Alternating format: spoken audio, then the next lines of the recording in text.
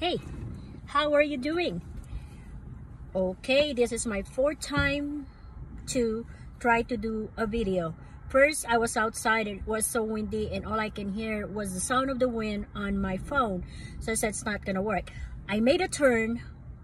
Now I was facing the sun, which is kind of like, okay, it was okay, but part of me it's kind of shiny and part of me it's kind of dark.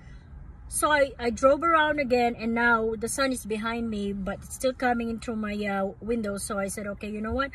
I'm just gonna have to let it rip. Otherwise, I'm not gonna be able to do what I needed to do. What am I going to talk about this time? Um, it's about my vintage Dooney and Bourke Bolero type of bags. And anything can be a topic, a blog, and then you can, if you have a business, you can always segue that into a business matter. That's how I generate content creation on my blogs or my videos by picking up something and then I'll talk about it. So anywho, three years ago, I saw this lady who was holding a bag. It's so colorful. It has so many colors for a piece of bag. And I said, wow, that's pretty, pretty. But I didn't say uh, anything to her, you know. And then it took a year or two. Then it came to mind again. I said, I wonder um, if I'll be able to find that bag that I spotted a few days, a few years ago. I don't know the name. I just keep on tapping with colorful yellow. You know, keywords is what I use. And then it came across this with this vintage Dooney and Bourke bag called Bolero. Well, apparently uh, Bolero bags, they made it earlier in the 2000 if I'm not mistaken. And they never made it anymore since then.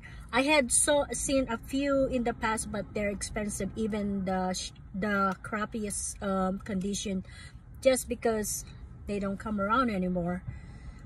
As I was going through my uh, research, I actually came upon a purse which is brown and brown with a black around it. And I've noticed that it was only $40 a time. And because the handle start a little bit appealing, but it's beautiful no matter what I looked at. No matter is the condition, I find the Bolero bag very very nice so I ended up buying the purse the bag. I got it and I saw the handles and I said how can I make this better? So I ended up buying a bison leather string to wrap around the handles. So this way it doesn't ruin.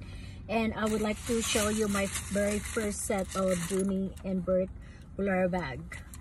See as you can see this is the this is leather the string that I put it in here. This is my first uh, set of Bolero bag that I bought last year if I'm not mistaken.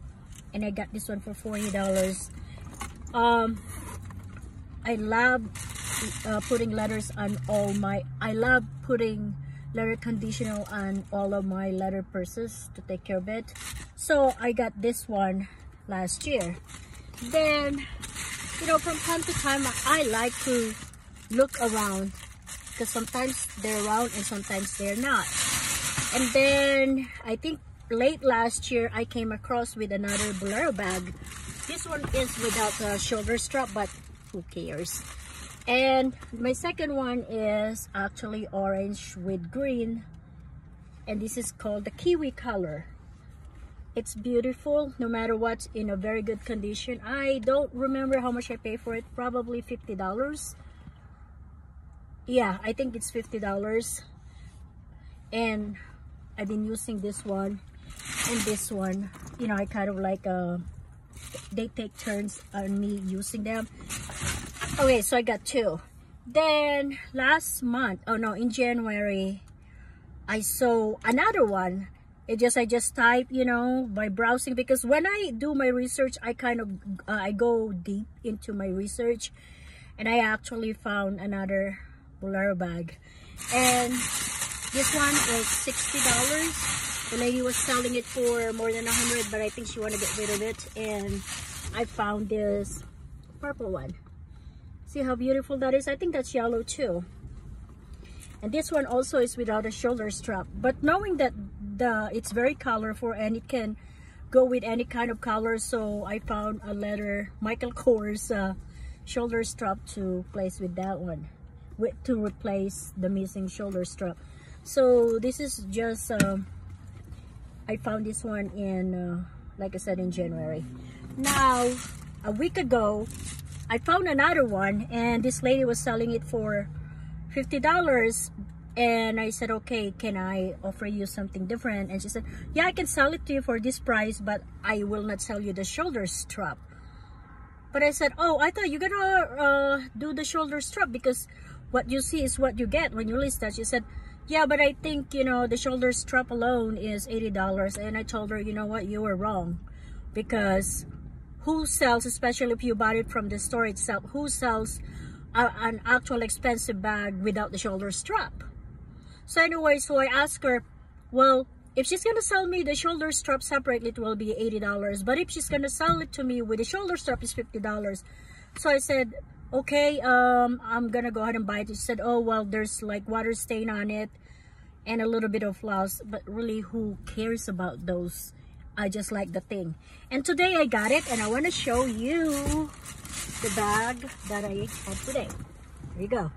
This is the yellow sunflower with uh, pink strings and this is the yellow shoulder strap and in the back she said they are all water stains but to me they are more like fading of the leather which is added to the color the patina of um, of the bag itself. And I was thinking about uh, cleaning the patina the the water stain but you know looking at it it's like no. So this one I got it for $50 as well.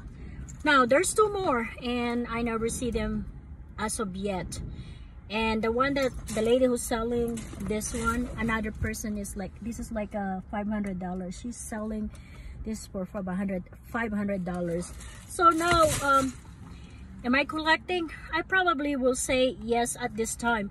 Will I be selling them? I don't know yet. But I am enjoying the color of this uh, Dooney and bag. And uh, even the people who take notice of my purses, the Dooney Bolero, they told me it fits my personality.